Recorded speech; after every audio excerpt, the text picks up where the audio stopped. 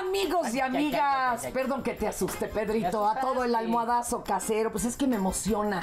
Imagínese usted ir a Berlín, ¿no? Eso sí me gusta. De cuates. Wow. Y te vas encontrando una escena, pues que no es la que te presentan en el tour oficial. Sobre todo músicos así, locochones, Wow. este, personajes estrambóticos. Y todo eso le da acá. Hacen el caldo gordo de la novela Berlín Qué. Atómico. Y tenemos a su escritor Alessandro Triaca. Alessandro Triaca Sánchez. Mi querido, mi querido Alessandro. Oye, ya te vi, sí te veo en Berlín. Pero, oye, ¿onda escena Darks? ¿O como de cuál de todas? ¡Bienvenido! Maravilla. Muchísimas gracias por la invitación. Eh, qué, qué gusto estar acá en el almohadazo, por fin. ¡Eso! Eh, A nosotros también nos da gusto, aunque no lo Gusto es creas. nuestro. El gusto es nuestro. Cuéntemelo todo, cuénteme. ¿Cómo llega a Berlín y cómo descubre esa escena tan peculiar?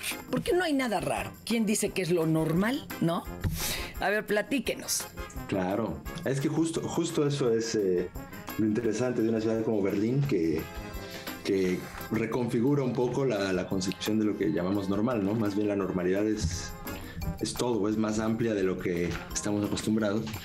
Pero bueno, más allá de Berlín en particular, lo que me interesaba era escribir algo eh, divertido a partir justo de ese contraste, ¿no? De, de este joven, el protagonista que es un chavo mexicano muy joven que llega Pues a esta ciudad y, y pues... No, un poquillo más.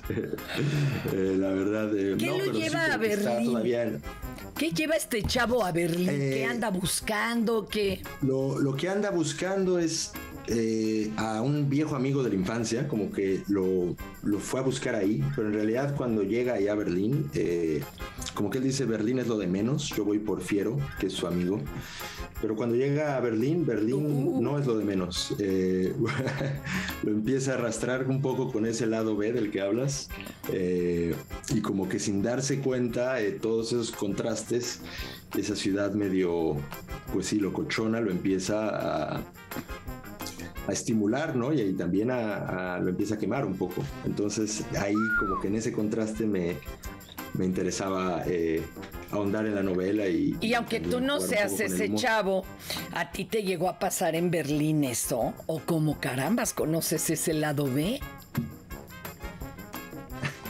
Pues algunas cosas me pasaron. eh, lo que me pasó, por, eh, sin duda alguna, es estar en esa situación. Eh, no necesariamente en Berlín o más allá de Berlín, en varias situaciones de estar es, pues en una situación medio incómoda fuera del- de la zona de confort, que es lo que pasa cuando uno vive fuera. Eh, y más bien yo utilicé Berlín para ir metiendo o anécdotas que yo escuchaba, o personajes, o algunas vivencias propias, sí, como todo meterlo ahí, en una ciudad, en una casa, porque yo esta novela la escribí mientras estaba viajando, entonces conocí en ese lapso, en esos años, pues a mucha gente que se prestaba como para Contarte una esas novela así, y cosas. creo que... sí.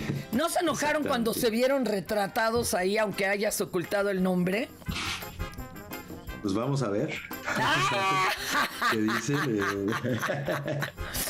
Oye, nos que dices que va ahora que se descubriendo. publique, que. Es difícil encontrar la escena B cuando vas de turista y sin ningún contacto. Vamos, no hay un a dónde ir Claro. del lado B.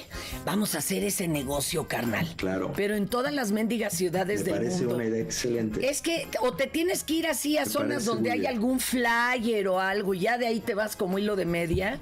Pero es raro, no, no encuentras la, ex- la expo que tú quieres ver, ni los grupos que tú quieres oír. ¿A poco no, carnalito? Claro, claro, claro. Además, por ejemplo, el personaje dice algo similar, porque ya hacia el final de la novela él agarra una revista y ve una guía de Berlín. Y, y dice, ah, caray, nada de lo que me ha gustado, de lo que me ha importado en esta visita está ahí, ¿no? Eh, Claro. Creo que tienes razón, a veces las, las ciudades se viven eh, pues más como improvisando, ¿no? Eh, y siempre es mejor tener ahí alguien, alguien adentro, ¿no? Que, que te permita pues pues justo pasar de turista a meterte un poco ahí al, lado B. Luego te sale el tiro por la culata, ya le pasó a una amiguita muy querida mía que ese que la invitó, pues ya quería hasta cuchiplanchársela, pero bueno, la cosa, sí, le dijo, quédate en mi casa, y perdón, pero la chava ni siquiera es binaria.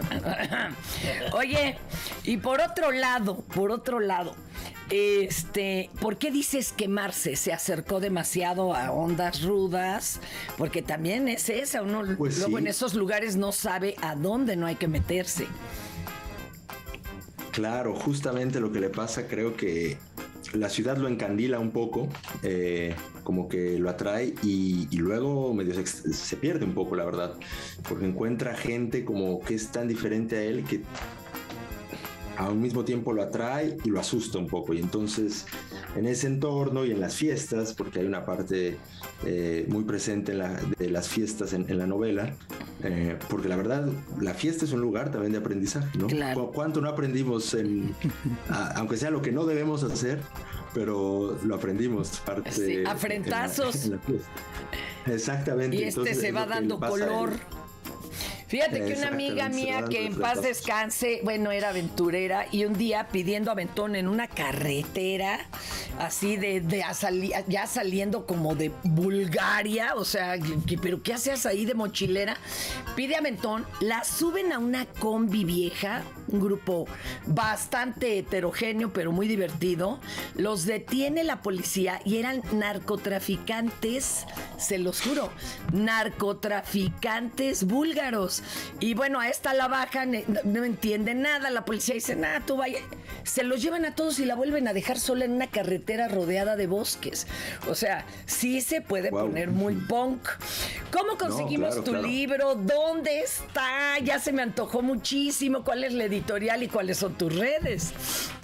Claro, déjame te cuento, Fernanda. Pues mira, algo interesante de esta novela es que se publica en Bookmate que es una plataforma de, distribución literaria, es decir, es como una especie de, eh, como de Netflix, pero de libros. Y ahora además están haciendo su propio contenido. Eh, mi novela eh, se publica con su sello. Y yo tengo un, código que pueden usar el auditorio para que puedan acceder a mi novela y a todo el catálogo de, Ay, qué padre. de Bookmate eh, gratuitamente tus redes, y así pueden. Tus redes, para que te contacten. Claro, claro, pues bueno, pueden buscar la novela misma, eh, Berlín-atómico eh, en Instagram. Y ahí también estoy tagueado yo, mi tag es eh, Corben-Dallas-Multipass. pero bueno, les voy a pasar el, el código para que puedan. El código es Berlín Atómico, entonces meten a bookmate.com diagonal code, code, eh, y ahí es, meten el código Berlín Atómico en una palabra y pueden acceder a, a mi novela y algo importante también al audiolibro. Porque la novela tiene audiolibro y. ¿Lo grabaste tú el la verdad está súper bien narrado. Ah. No, pero mejor aún lo grabó eh, el, un amigo mío, gran amigo mío, buen actor que se llama Fernando Reveil e hizo una uh. súper interpretación. Casi se me antoja decirles que lo escuchen eh, tanto en lugar que, de lean porque se presta estos sí estos quemones que estamos hablando Berlín Atómico es corrido verdad fíjate qué curioso otro eh, otra creación de fiestas underground chidas que lleva la palabra Berlín la de esto no es Berlín. Compañero cuídese